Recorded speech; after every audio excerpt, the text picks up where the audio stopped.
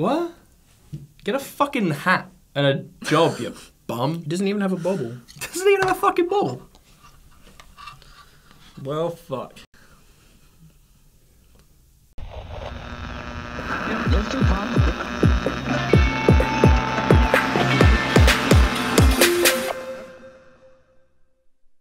Rihanna. She's got the voice. She did a song with Calvin Harris, no less. She's she's a pop queen. What can I say, you know?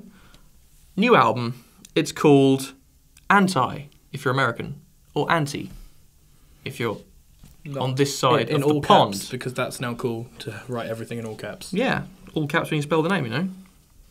Okay, okay. First of all, stop reading my notes. Second of all, I wasn't expecting this.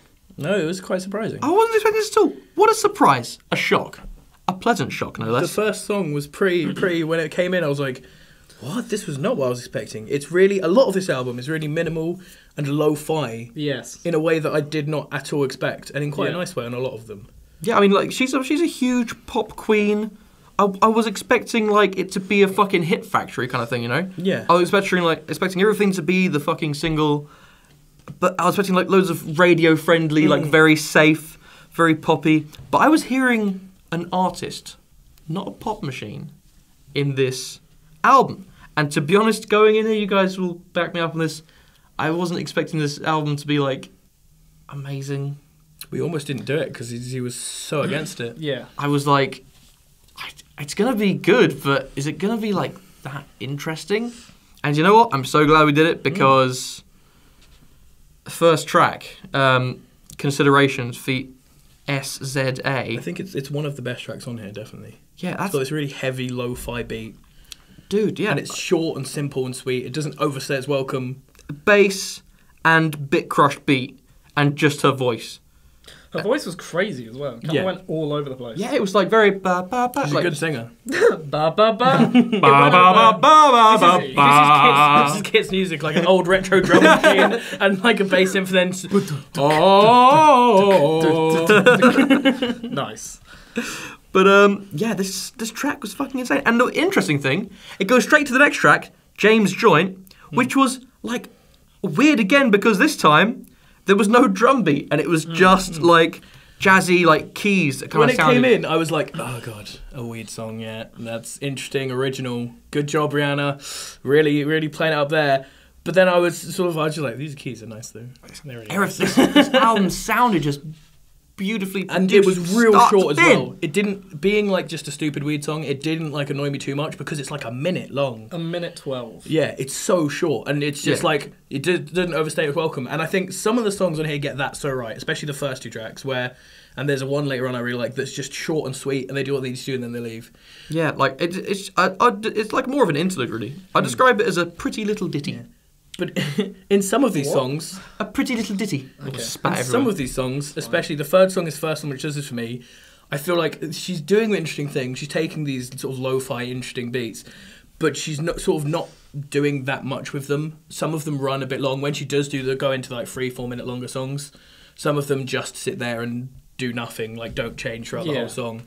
And then the fact that they're really minimal starts to drag, and you're like, I, I really, really love the production of this album. Like a lot. it's good sound. It's never, it never is a bad sound, but sometimes it's just not like structured well or not written well. in I way. felt as though when it got to the third track, I kind of started to feel like that was so the the I started to feel. it's It's very deep. It was so numb until then. because the first first two tracks are like less than three minutes both of them, yeah. and then you get your first like full track, Mm. and I felt as though it was kind of getting like oh, and this is where it gets poppy, but it kind of like backed off. it It, had- didn't go too poppy. It had those sort of big, like, sort of typical trying too hard guitar sounds. No, no, like- the it's like guitar these- was like a throwback. It was more of like it's a like gimmick. yeah, it's like not quite heavy enough to be anything interesting in that way, but it's like just heavy enough to go ooh, edgy, and it's just like I was it's like yeah, a lead guitar from a Michael Jackson song. Yeah. It, it was like that big kind of 80s metal guitar, all like big hair and tight trousers Yeah. Mm. from that era. It's obviously meant to just be like sound like that Yeah. stylistic. and the like synth was quite like that sort of era as well. Mm. And I, I thought this was one of the weak points. Like I know this sounded like it was trying to be like a 90s kind of R&B track. I wasn't like a massive fan of it to be Yeah, honest. I think I I wasn't a it was very massive fan of the Drake track. Mm. You know what? I wasn't a massive fan of the Drake track until Drake came in. Yeah, Yes. Drake was the best thing about that track by far. But the the, the it like kind of works though after the he came in. instrumentation on everything that was Kind is really held back in a way that didn't at all work for Rihanna, and even Yeah, did Drake you not feel as though, weird. like, as soon as the track started and as soon as she started singing, you were like, this is meant to be like a Drake song. Yeah, it- it and then didn't Drake, like, before I even saw that it featured Drake, I was like, this would work better with Drake in it because Yeah. that she's like doing his style, Mm, and, and- it was weird. and, like, when- and then he came in, when like, oh, she's on the good beats in here where it works for her, they're all big, and that was just so held back. Like the bass was really small and wasn't that heavy at any point. The drums were quite thin, had a quite sort of dark vibe, which is really Drake, but just, just didn't fit her. There was actually quite much. a lot of darkness in this. Yeah, in man. this, uh, album. The album, I was fucking loving it. Yeah, it's definitely taken quite a lot of influence from that sort of OVO sound thing that's going on with like Drake and all those sort of. I wasn't a ma- massive fan of six through eight though. Tracks "Woo," "Needed Me," and "Yeah, I Said It."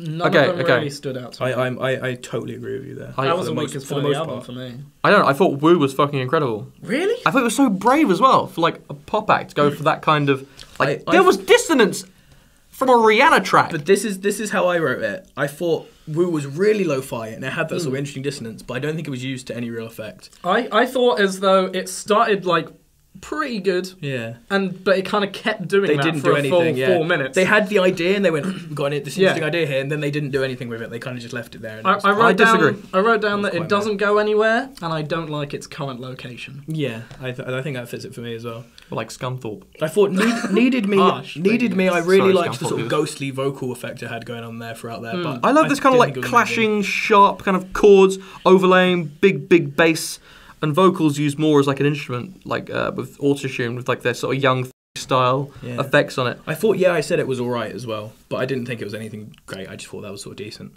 Yeah, thought so. I, I just thought it was kind of the same kind of. It didn't. It didn't really stand out as anything. Hmm. I don't think this was the weakest point in the ballad though, uh, or in the album though. Ballad. I think- is that is, that, uh, is there something coming up here? Spoilers. Maybe. Spoilers. But the, the the next bit is the bit that really took me. Same old mistake. Tame Impala cover. Yeah, because it turned on. I was like, "This is sick," and I was like, "I really recognise this. I really recognise this." And then That's I, exactly do you know what I I did it the wrong way around. I looked it up on her album first, and I went, "Oh, of course." It was written and produced by Kevin Parker. of course, it, is, it sounds familiar. It's his style. And then I like was like, like was like, I really recognise it. I looked into it a bit more. I was like, oh, it's a cover of a mm. Tame Impala Yeah. song, and they've just he's, she's just shortened the name. Yeah, from the album that And came it's out last really year, good. Currents. It's a really impressive. Which cover you should that check out our review of, by the mm. way. It's a, I was so confused. I was just went, that bass line, it sounds like it can write off of currents. yeah, yeah, exactly. And it was so, it was And a then real good. I started fucking though. hearing like I swear there are Kevin Parker fucking uh like backing vocals. Yeah. I was like, Oh. I'm even I- I- hearing I him think- singing I think they this. did like get a Yeah, bit of listen to it again. You'll hear his back. because he's got a load of credits on there. Like he has production credits on it, and I, he didn't work on it, but I think they gave it to him because they used like bits of the original sort of thing. Interesting. I also did look up, and apparently he he was like, "I love it. I approve of it so much." Dude, that's like, "It's it was awesome." fucking sick. And it was a really it was a really good version of it. Oh yeah, I was actually, I actually really rated the Yeah, I was like, this is like the best song on the album, like which makes sense because Yeah. it's it's a song from a better album. Her But voice is so really close to his as well. At some points, it's like hmm. Yeah, Kevin Parker Yeah, sounds was a lot on- like a she girl. did it justice. Definitely, yeah. But really what she didn't do was change it up so much. It's not like she took Yeah. the original version, made it her mm. own. She just kind of did she just did a good version of a, the a original. good, good cover version, Mm, really. Mm, mm, the next bit is where I feel it gets weak. The next few songs, The generic acoustic track. yes, Yeah. these songs are Never where it gets ending. pretty boring because it has the same problem that some of the electronic tracks have, where it doesn't really go anywhere and the instrumental's kind of repetitive. except it doesn't have the upside that the instrumental is at least interesting and big. Mm. The instrumental has become sort of just an instrument in it. I I, I, they were disagree. I really liked the acoustic number. I was because I was going in there with like a harsh, harsh feeling. I went never ending. I'm betting when I get to that track, I'll have the same feeling that this album is never ending. But no, I really fucking enjoyed it. It was great. I, I thought it was just like an okay acoustic track. Yeah. I, I, I expected it's a pop album, you're gonna get a kind of acoustic guitar only kind of track. Yep. And it happened, and I was like, it wasn't bad, it wasn't great, it was just an acoustic Yeah.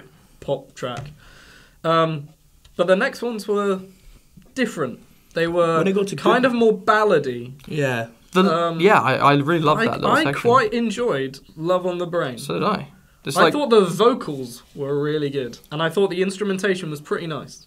I think it was an amazing track. I loved like it just went like it's like you get thrown right back in time the second that song starts. Like it's really like wonderful emulative kind of soul song, and uh, vocals are just like delicate and Hmm. like vulnerable and They were all well done, this little section, but they just weren't as interesting to me. And uh, as I was surprised at some of the other bits of how much I liked some of the other interesting stuff, I was like, this went back to where I was like, okay, now they're putting in sort of the more radio friendly tracks.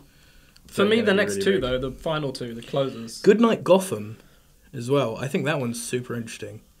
And it's another one that's only 1 minute 25. Have you done you deluxe? listened to the deluxe version, didn't you? Mate? Is it? Yeah, well done. Well, it was fucking good. Okay. It was really good. well, uh, close to you, the final track on the album, Oh, non-deluxe, was a piano ballad. And I, Yeah, I, I thought I just thought it was a piano ballad. Ah, Piano Reeves. Piano Reeves. So I say, after the sad thing is, after that, I thought it it got better when it got to the deluxe stuff. when it got to the Yeah. bonus content. Good Night Gotham, and uh, I, I think I think it, it's either Pose or Posse. I don't know what it's meant to be. Don't ask us. How's it spelled? P O S E. then it'll be pose. Okay. Um, Posse is two S's. okay. Facts. Spelling spelling tracks here from, from James with no second name. Uh, they were they were both really awesome songs. I thought they were pretty interesting. Fair, fair. The I- last song on the thing was a generic trap, and it was pretty boring. But those two songs were good. The Good Night Oh, Gotham was oh, actually, actually, now that you've said that, now that you've said that, throughout the entire album, I expected some sort of trap Mm. Yeah. song, and there wasn't one, Yeah. except for in the On the bonus, there is one. There's one boring generic trap, and there was one pretty cool, quite track inspired one, which was kind of interesting and pretty good, uh, which was Pose. But yeah, the the last song was a generic track song. I loved the last two, the proper last Proper two. last two. And I, I, I just felt like it was like the the end of a day, like kind of drunk in like a hotel bar somewhere, singing like sad songs to each other on a piano, and it, it touched me. Except that she's actually drunk in a limousine on the way back to her mansion. She's got money. Her mansion in, I- in Ibiza or whatever. It hasn't changed her though. She's still rocking I, it. I think it has. No. I know, right? Controversial. Money changes people. when people become famous, they don't always stay the same. She's the same. So the, the the interesting thing now as well is I'm going to have to just say in my favourite track list I did have Goodnight Gotham, which now Okay, isn't in here okay. because it was an interesting sort of mostly instrumental kind of cool thing. But my favourite songs apart from that would be Same Old Mistakes, Mm-hmm. obviously, and then Consideration and Needed Me. Okay. Yeah, mine would be Same Old Mistakes. Yeah, I said it. Yeah, I said it's the other song. Um, Doesn't she say like, "Yeah, I said it"? It's the name of the title or something. It's like the Yeah, title of the something like track. that. She What a- references it as the title. What a lyric! That's why I didn't. It's rate at least that meta. I'll probably go um, for. I don't know. I'm gonna stick with those two for now. Okay, Yeah, yep, I'm gonna go consideration. Desperado. Same old sponsor mistakes. much. That's the one first thing I wrote when I was little. I was like, sponsor much. And the first thing she says in that song is Desperado. I was just like, this is going to be a club. I, I thought gonna it was going to to be a really bad dumb. cover of the Eagles song, but luckily it wasn't. luckily it wasn't. So he thought it was gonna be an advert for a dodgy It wa- tequila it was beer. an advert It for a dodgy tequila it was, beer. It was. Was it? Yeah. Holy shit! Anyway, so let me let me say again: consideration, Desperado, uh, same old mistakes, and Love on the Brain. I thought they were my favorite. tracks. Sweet. Out of ten, Gareth. I was between two scores on this. So was I. I think I'm going to go with seven. Okay. Okay. James, boy. I'm gonna go with a six. Six, six. I'm gonna go with a strong seven. Really fucking loved this album. Interesting. It's Really? funny because we were the ones who wanted to do it. Yeah, yeah. Really fucking loved it. What do you guys think of this? You know, you guys need to start tweeting at us more often because we're getting lonely here at the Sonic Squeeze. So yeah, tweet us. Let us know what you think of this album. Leave a comment. Like the video. Survive. You know. I'll uh I'll catch you next time. Survive. Yeah. if you can live until our next video, that would Yeah. help us. Yeah. Like, comment. It will be out in 24 hours from the release of this. From the time you see this, yeah. That sounds like sinister for some reason we are telling our audience we want them to survive for at least 24 hours so they can watch our next video. That's pretty sinister. Catch you later.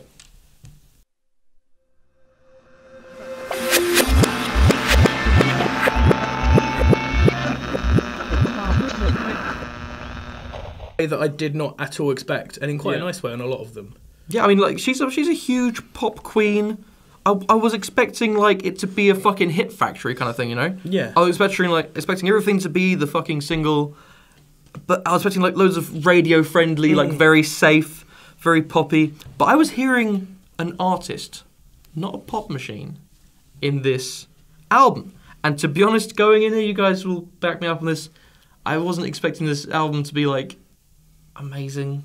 We almost didn't do it because he, he was so against it. Ba, ba, ba, This is, ba. this is kids, this is kids music, like an old retro drum machine and like a bass in for then. Oh, Nice.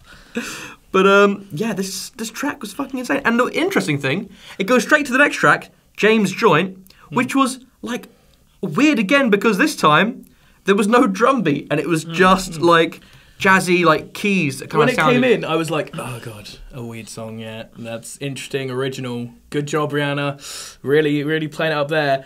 But then I was, New album. It's called Anti if you're American, or Anti if you're on this side in, in of all the pond. caps because that's now cool to write everything in all caps. Yeah, all caps when you spell the name, you know. Okay, okay. First of all, stop reading my notes. Second of all, I wasn't expecting this. No, it was quite surprising. I wasn't expecting this at all. What a surprise! A shock, a pleasant shock, no less. The first song was pretty, pretty. When it came in, I was like, "What? This was not what I was expecting." It's really a lot of this album is really minimal and lo-fi Yes. in a way. Yeah. I was like, it's gonna be good, but is it gonna be like that interesting? And you know what? I'm so glad we did it because first track, um, considerations feat SZA. I think it's it's one of the best tracks on here, definitely. Yeah, It's that's got this really heavy lo-fi beat, dude. Yeah, and it's short and simple and sweet. It doesn't overstay its welcome. bass and bit crushed beat and just her voice. Her uh, voice was crazy as well. Kind of Yeah. went all over the place. Yeah, it was like very ba ba ba. She's like- a good singer. ba ba ba. What? Get a fucking hat and a job, you bum. He doesn't even have a bobble. Doesn't even have a fucking ball. Well, fuck.